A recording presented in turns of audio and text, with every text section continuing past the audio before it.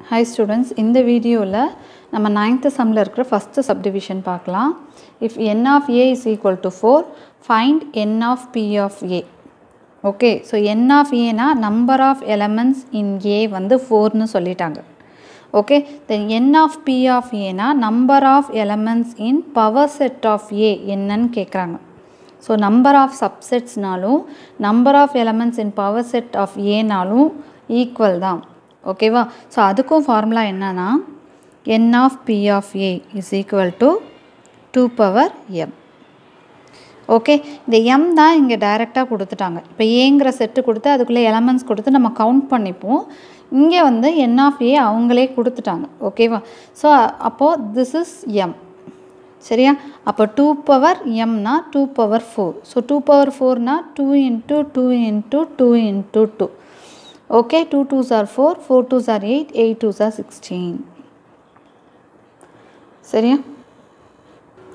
So இப்போ ninth சம்மில் இருக்க செகண்ட் சப்டிவிஷன் பார்த்தோன்னா if n of A equal to zero that means number of elements in A is zero then find n of P of a that means number of elements in power set of a.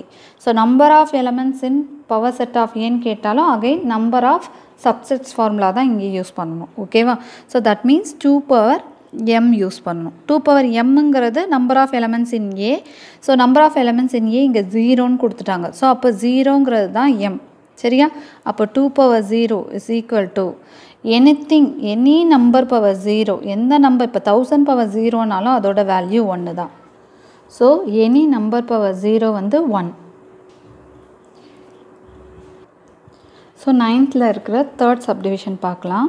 இப்போது if n of B of A equal to two fifty six then find n of ஏன்னு சொல்லிட்டாங்க. So இதோட previous சம்மில் பார்த்தோன்னா என் of A கொடுத்துருந்தாங்க n of B of A கண்டுபிடிச்சோம். So actually n of B of ஏவோட formula என்னன்னு பார்த்தீங்கன்னா டூ பவர் எம் சரியா? ஸோ இப்போ இங்கே பார்த்தீங்கன்னா இதுவும் n of B of A தான். So n of B of ஏவோட வேல்யூ தான் டூ ஃபிஃப்டி சிக்ஸ்ன்னு கொடுத்துருக்காங்க. இங்கேயும் என் ஆஃப் பி ஆஃப் ஏவோட ஃபார்முலா வந்து டூ பவர் எம் அப்போ இது ரெண்டும் ஈக்குவல் தானே? ஸோ அப்போ நம்ம two power m is equal to two fifty six அப்படின்னு எழுதலாமா? ஓகே ஸோ இப்போ நம்மளுக்கு எம்மோட வேல்யூ வேணும்.